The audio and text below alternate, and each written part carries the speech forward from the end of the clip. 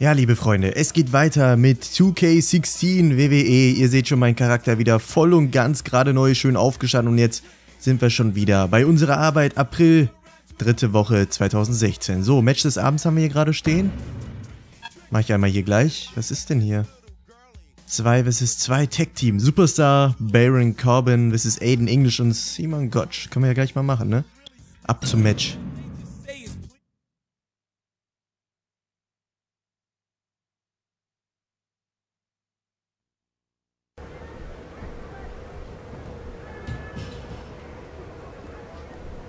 We've decided that your first official NXT match is going to be Finn Balor and Hideo Itami versus Baron Corbin and you. To get you prepared for that match, we're putting you up against the Vaudevillains. Show me you deserve to be in that match. Ja, da bin ich mal gespannt. Gut, letzte Episode erinnert euch auch vielleicht daran, dass ich auch nicht so super gut war. Muss man einfach mal sagen. Da bin ich irgendwie draußen im Ring gewesen. Auf jeden Fall super witzig. Kann ich euch nur empfehlen, die letzte Episode euch anzuschauen. So, okay. LB ist Tag, okay? Aber gut, das ist schon mal ein guter Anfang. So, ich muss mich natürlich erstmal wieder mit der Störung vertraut machen. Also, deswegen, sorry, wenn es jetzt manchmal nicht so gut klappt. So. Schön auf den Rücken, auf die Lendenwirbelsäule, das tut schon mal gut. Wie ich finde. So. Wir können natürlich auch wechseln. Also das ist ja auch möglich. Ich glaube mit LB war das, ne? Tech, glaube ich, ja? Das müsste es, glaube ich, sein.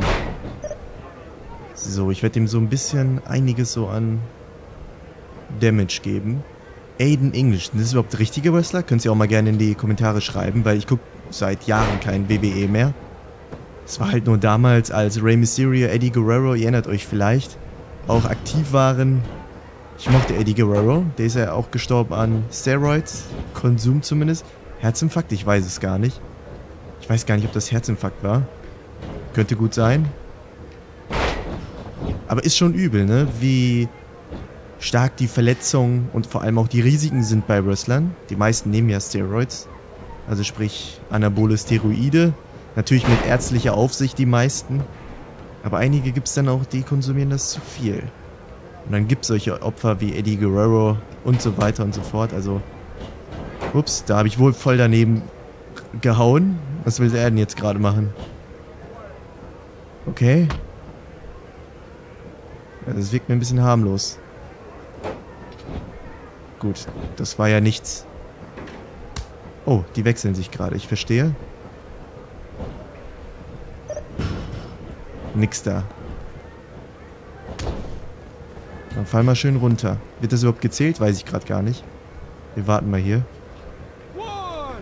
Okay, das wird gezählt, alles klar. Ja, in der letzten Episode zumindest bin ich nicht... Oder ich konnte nicht aufs Ring kommen. Das war mein Problem. Und wie gesagt, wir waren jetzt auch bei dem Thema Steroids und ich habe auch schon damals mich gefragt, ob das auch vor allem echt ist. Unter anderem natürlich ist das alles künstlich gespielt. Die werden alle professionell dafür ausgebildet, wie sie ihre Movement unter anderem machen, dann kann es natürlich auch zu Risiken kommen, dass der ein oder andere seine, ja, seine Attacke nicht gut gemacht hat oder ausführlich gemacht hat, okay, richtig ausführlich gemacht hat, sodass es dann zu Knochenschäden oder sowas kommen kann oder eben Muskelschäden. Kann alles passieren, also muss man einfach mal sagen. Aber ich finde Wrestling an sich ist eine interessante Sportart. Ist nichts Gesundes, würde ich, könnte ich jetzt nicht behaupten. Oh, die wechseln jetzt schon. Cool. Wie du willst. Hätte wohl die Nase voll gehabt, ne? Nichts da. Komm her. Schön mit dem Gesicht auf dem Boden. Das tut doch gut, ne? Würde ich mal behaupten. So, wartet. Das ist doch mal was, ne? Schön auf dem Rücken. Ja, und ich habe das dumpfe Gefühl, wir machen auch dieselben Movements. Ich glaube, das kann man wohl auch noch irgendwie einstellen, wenn das natürlich klappt. Ich weiß gar nicht... Oh, das war zu früh leider. Nein. Ich will wieder rein. Tut mir leid. So genau, das war das Problem. Ne? Ich bin nicht reingekommen. Aha, okay. Geht halt irgendwie nicht. Doch, doch, der ist jetzt verletzt. Gut. Ich dachte schon, ey. Wann werden die mal endlich hier grün, rot, was auch immer. Mich ein bisschen gewundert, muss ich zugeben. Autsch, ey. Das muss echt wehtun. So, ich würde sagen, wir springen einmal drauf, wenn es klappt. Und los. Genau. Das tut dem gut. Kann heute Abend nicht, nichts mehr essen. Da muss man sich mal durch den Kopf gehen lassen. Wenn man so springt, muss man doch normalerweise auf die Knie fallen. Und obendrauf, wenn man nicht richtig trifft, kann man sich doch gleich Knöchel äh, überhaupt anbrechen, ne? Es müsste eigentlich klappen. Es sollte klappen eigentlich. So. Aha, aha. Er will dich runter... Alter Schwede. Habt ihr das gesehen? So ein mieser Arsch. Der passt sogar auf. Der passt sogar auf. Moment. Wie war das gleich? So. Ach du meine Güte. Der hat... Der hat auf jeden Fall gekontert. Na, warte. Pass bloß auf, dass du nichts Falsches tust. Aber wie ist das eigentlich bei euch? Wie findet ihr Wrestling eigentlich? Ich meine, ihr schaut das ja bestimmt gerne. Aber habt ihr da auch schon so richtig Bock drauf, immer wieder Wrestling zu schauen? Es gibt ja viele, viele, viele, die da echt ambitioniert dabei sind. Das ist wirklich deren Passion, jeden oder jedes Wochenende über Wrestling zu schauen. Ich muss zugeben, ich habe es auch sehr, sehr gerne geschaut früher. Wie gesagt, als John Cena unter anderem gab, äh, John Cena sage ich, Rey Mysterio unter anderem und so weiter und so fort. Also, das war schon richtig cool. So, Signatur habe ich gerade gedrückt. Ich glaube, das ist die Spezialattacke. Autsch. Das muss richtig wehtun. So, geladener Finisher machen wir auch noch. Na los, dann komm mal her. Ja, Finisher kann man wohl auch alles ändern. Also muss ich halt mal schauen wie man das erstmal alles im Nachhinein irgendwie ändern kann. Also, das ist bestimmt... Oh, hat gerade nicht geklappt, weil ich falsch gedrückt habe. Sorry. Beziehungsweise falsch, äh, ja, mit dem Analogstick gedreht habe. So, jetzt könnt, so könnt ihr nicht kommen, ne? So, komm mal her. Autsch.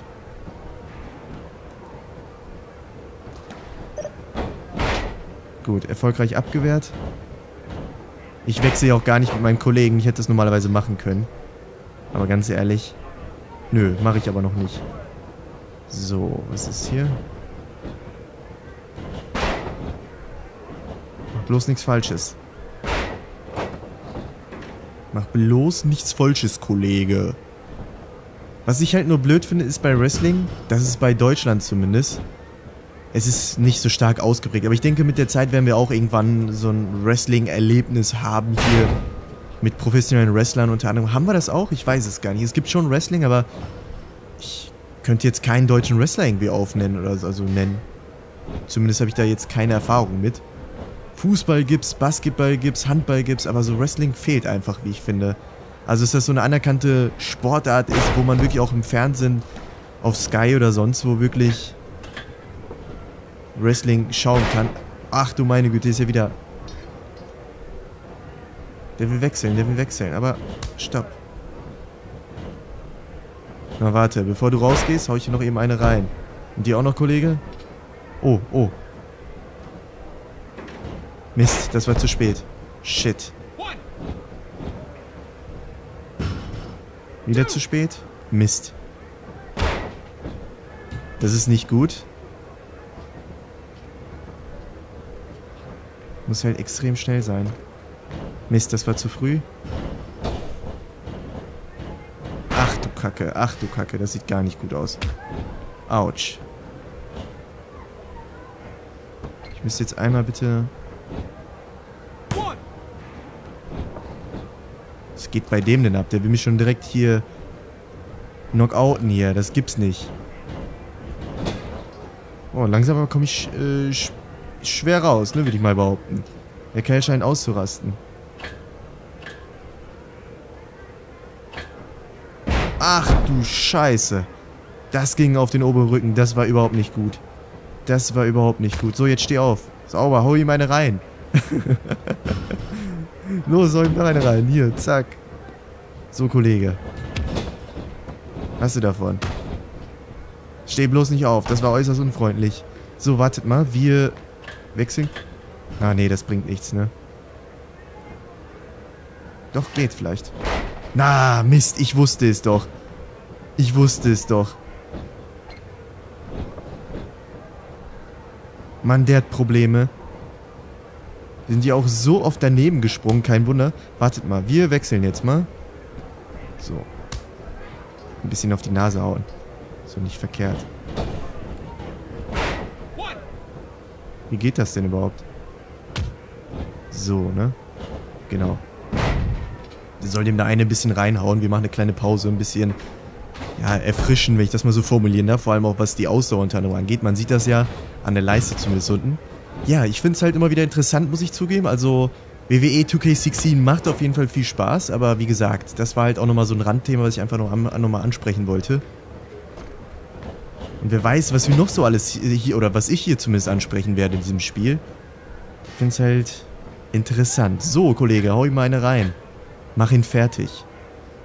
Boah. Der macht ja genau dasselbe wie ich. So. Ich hoffe, ich hoffe, der kann ihn zählen. Shit. Der Arsch. Ach du Kacke, der Schiedsrichter ist runtergeflogen.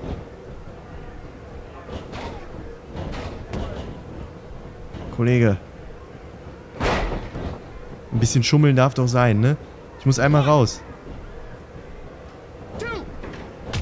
Ja, ich will raus.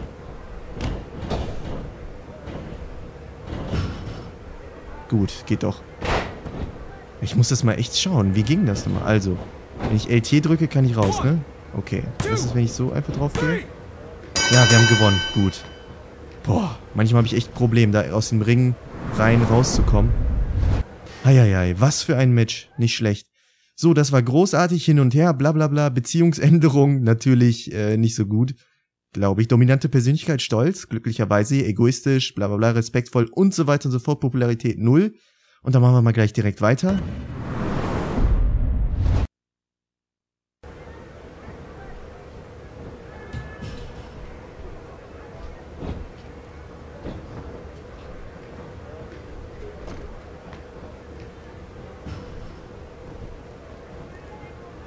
Hey, wait a second. Next week is your first match on NXT. With all the lights and craziness that happens on that day, don't forget to go out there and have some fun. We all do this because we love this business. And I can tell that's what you bring to the table, too. You're going to do some big things in the WWE, kid. Just don't let all this go to your head. Na, das ist super. Sehr schön. Dankeschön, Dankeschön, Dankeschön. Das wäre sehr lieb. So, das Training hat dir 1500 TP gebracht. Dankeschön. So, und damit können wir uns jetzt, glaube ich, auch skillen. Ne? Warte, ich möchte erstmal ganz gut so mal schauen, weil ich kenne mich, wie gesagt, hiermit nicht so super gut aus. Und ich glaube, jeden Mittwoch haben wir, ne? Wenn ich das richtig verstanden Jeden Mittwoch haben wir solche Matches, unter anderem. So, Charakter könnten wir jetzt auf jeden Fall machen. Rangliste würde ich mal ganz gerne mal kurz schauen. Aha, okay. Der erste ist Kevin Owens. Ja, und wir sind halt immer noch 10. Platz. Interessant, interessant. So, wir gehen jetzt ganz auf Charakter. Eigenschaften will ich mal ganz kurz schauen. So, im Eigenschaftenbildschirm kannst du die Eigenschaften deines Mind Superstar verbessern. Je mehr Eigenschaften, bla bla, ist effektiver, bla bla bla bla bla. Okay, dann bin ich ein effektiver. Armkraft, okay. Wir haben momentan 60, das ist natürlich blöd, ne? So, Bewegungs Bewegungstempo wäre auf jeden Fall gut oder Stärke wäre auch gut, ne? Ausdauer, Ausdauer, oh ja. Alter Schwede. So, ähm, ich werde das mal, ich werde das mal ein bisschen ausgeglichen skillen, wenn es geht. Ich hoffe, das ist so in Ordnung für euch. So, das soll auf jeden Fall 65 sein. Stärke will ich auch auf jeden Fall auf 65 erhöhen. Das wäre gut. Bewegungstempo auch, äh, Tempo. Auf 70. So, was haben wir hier noch? Armkraft. Ja.